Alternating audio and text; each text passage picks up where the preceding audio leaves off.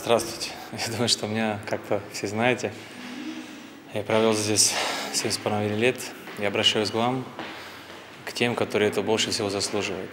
А это болельщики клуба, который за все это время, которое в «Локомотиве», чувствовал э, поддержку.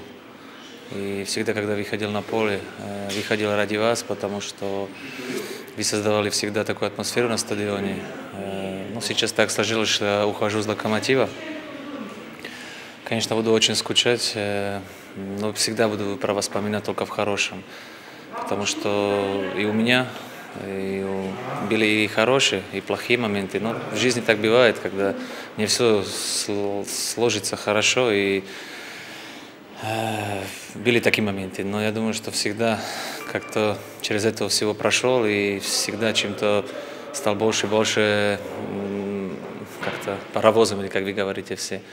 Так что я буду говорить только в хорошем про вас вспоминать. Спасибо вам огромное. И сейчас тяжело мне еще что-то говорить, потому что я только мог доказать все, что могу только на поле. Это самый такой поступок, когда футболист, футболист э, выходит и показывает э, свой уровень.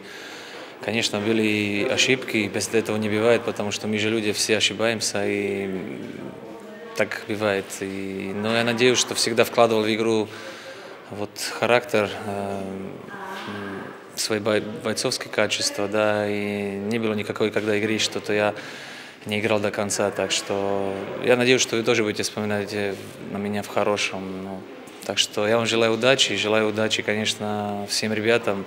Я прошу вас, болейте за них, э, поддерживайте, потому что им это нужно, и без вас 12 э, игрок э, не только на поле, мимо поля, так что будьте всегда рядом с локомотивом, и...